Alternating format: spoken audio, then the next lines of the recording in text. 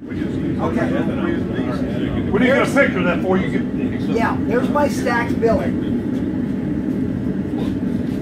And uh, you can, you know, there's a lot of layers there. I don't remember exactly how many layers, but there's different combinations. There may be two of one together to make a thicker layer. There may be three skinny ones. It's whatever I have up on the board there. What's I'm using 15 and 20, which is my light colored steel, and uh, 1084, which is my dark colored steel. Now, you have to think about this. Damascus steel used to be magical.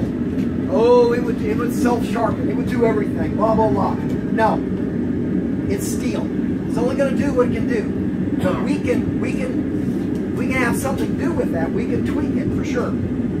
If I mix two good knife steels, 15 and 20, 10, 1084, superlative knife steels in their own right, individually, then I'm going to get a good a good billet here. But if I throw in some mystery steel because I had it, it was available, well, that mystery steel might be the, the weak link. You know, and, and when people first started doing this in America, they would throw in um, wrought iron. Wrought iron the carbon in it to speak of.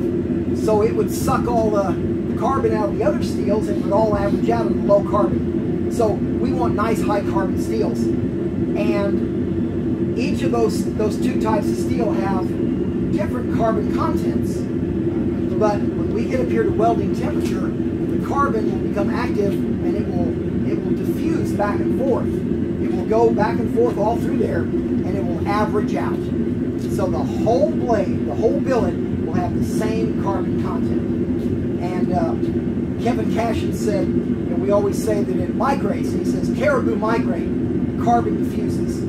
So, so we're going to have some carbon diffusion going on here. So there's a lot of layers in there. There's three, six, there's a whole bunch of them that you can barely see.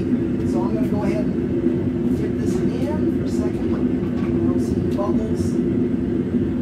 Okay.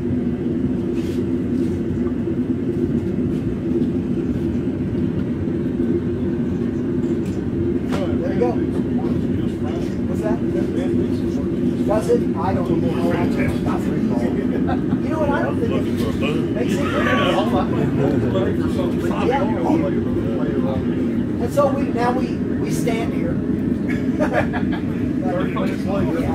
yeah, yeah, it, it's a big billet, so it'll take a while to get up. Hey, but uh, generally speaking,